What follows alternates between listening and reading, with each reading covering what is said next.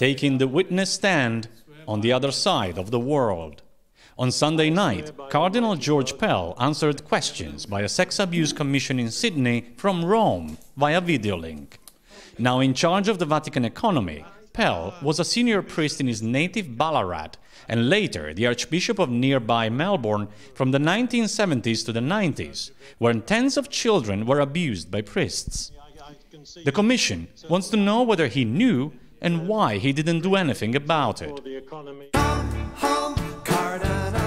Pell said he was too unwell to travel to Australia to face the Commission in person, a claim that sparked widespread outrage and a crowdfunding campaign that raised more than $150,000 in a week to cover travel expenses to Rome for 15 survivors. We're not here to intimidate him or anything, but he's got to look at our faces, the ones who have been damaged by the clergy. I would love to see George Pell stand up and say, we got this wrong. We didn't handle this well, but we can do better now. You know, we can help the victims now. At 11 years old, David Ridsdale was abused by his uncle, a priest who has since been convicted of 80 counts of child abuse. He was the first survivor to speak out in 1993. He says Cardinal Pell knew both him and his abuser.